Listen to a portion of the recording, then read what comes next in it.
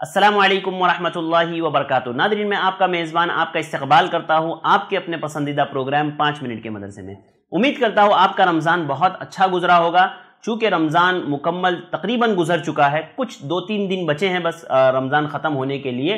लिहाजा मुझे और आपको चाहिए कि हम अब जो अमाल हमने रमज़ान मुबारक में किए हैं पीछे भी, और अभी जो हम लोग करने वाले हैं दो तीन दिन में, उन दोनों में देखें डिफरेंस कि हम कितना ज़्यादा कर रहे हैं।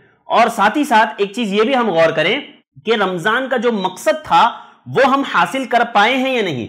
यानी इंसान को कम से कम आखिरी के दिनों में यह एहसास होना चाहिए कि मेरे अंदर तकवा पैदा हुआ है या नहीं? क्योंकि तकवा असल मकसद है। रमज़ान का असल मकसद क्या है? तकवा। अल्लाह ताला ने कहा, या युहल्लदीना आमनु कुतिबा अलैकुमुस्सियाम कमा कुतिबा मिन क़ब्लिकुम लअल्लकुम तत्तकून। कि हम पर और हमसे पहले लोगों पर रोजा इसलिए फ़र्ज़ किया गया था ताकि हम मुत्तकी बन जाए। यानी वो काम करे जिनका अल्लाह रब्बुल आलमीन ने हुक्म दिया है और उन कामों से बचे जिससे अल्लाह उसके रसूल ने मना किया है। तो मुझे और आपको चाहिए कि हम अपने अंदर तकवा पैदा करें, ये देखें कि हमारे अंदर तकवा पैदा हुआ है या नहीं। जहाँ कहीं भी रहें, हम अल्लाह रब्बुल आलमीन से डरते रहें। इत्तकिल्लाहुमा कुंच अल्लाह के नबी ने फरमाया कि तुम जहाँ कहीं भी रहो, अल्लाह रब्बुल आलमीन से डरते रहो। इसी तरह इंसान को चाहिए कि वो रमज़ान के बाद भी चूँकि अब रमज़ान खत्म होने पर है तो रमज़ान के बाद भी हम अपने अंदर तकवा रखें। हम ये बात समझें कि मैंने रमज़ान से तकवा हासिल किया है, लिहाजा अपनी ज़िंदगी के हर शोबे में। हर हिस्से में आप तकवे को ढूंढिए। आप अपनी जबान में तकवे को ढूंढिए। क्या आप अपनी जबान से क्या कहते हैं? अल्लाह रब्बुल ने कहा, वकूल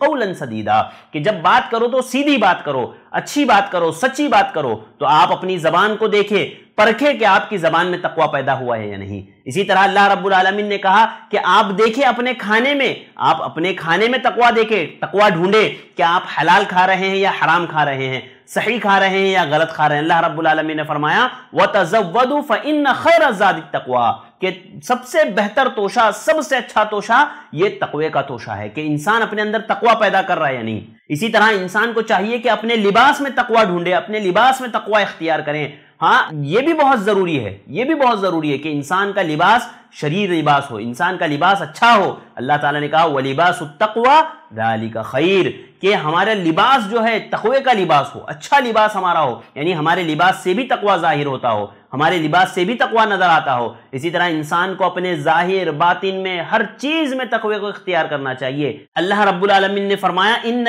लदीन लहुम मगफिरतुम अजरुन कबीर। कि वो लोग जो अपने रब से गायबाना तौर पर डरते हैं, अल्लाह रब्बुल आलमीन ने उनके लिए मगफिरत और बड़ा अजर रखा है। तो नाजरीन, इंसान को ये करना चाहिए, ये सोचना चाहिए, अपने हर हर अमल में वो तकवा ढूंढे, अपनी हर हर चीज़ में वो तकवा ढूंढे। याद रखिए, अगर ये तकवा आपको मिल जाए ना तो गोया आपने रमज़ान को मुकम्मल कर लिया, आपने रमज़ान का सही हक अदा किया, आपने सही रमज़ान को हासिल किया, अपनी सारी उम्र को इसके लिए वक्फ कर दीजिए।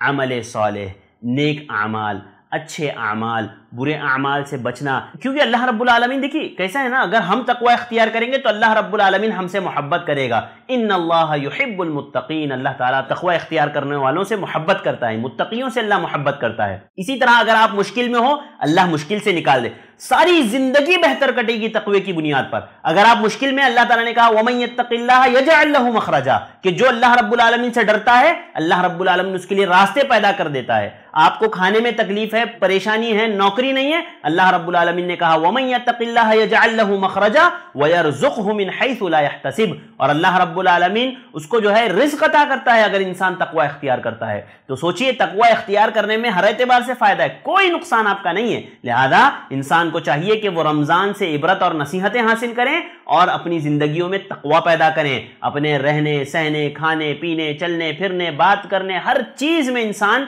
तकवे को अख्तियार करें और ये तकवा सबसे बेहतरीन चीज़ है जो रमज़ान से पैदा होता है। और अगर आपके अंदर तकवा पैदा नहीं हुआ ना पूरे रमज़ान, आप रमज़ान से पहले जो आपकी हालत थी रमज़ान गुजरने के बाद भी आपकी वही हालत रही तो समझ लीजिए कि आपने रमज़ान से फ़ायदा नहीं उठाया। ये रमज़ान आपका उसी तरह गया जैसे पहले के रमज़ान गुजर चुके, ये भी बेकार गया, जिसके ताल्लुक से अल्लाह के नबी वसल्लम ने बदुआ दी, लानत की कि अल्लाह रब्बुल की लानत हो ऐसे शख्स पर जो रमज़ान पाए और उसमें अपनी मगफिरत ना करवा सके। अल्लाह ताला से दुआ करते हैं, अल्लाह ताला मुझे और आपको इससे महफूज रखे, इस लानत से महफूज रखे और अल्लाह रब्बुल आलमीन अपनी जिंदगियों में तकवा पैदा करने वाला बनाए। आमीन वाखुर दावान अलहमदिल्ला रबालमीन अल्लाम वरहमल वर्क ऐसे ही और वीडियोस बनाने में हमारी मदद करें।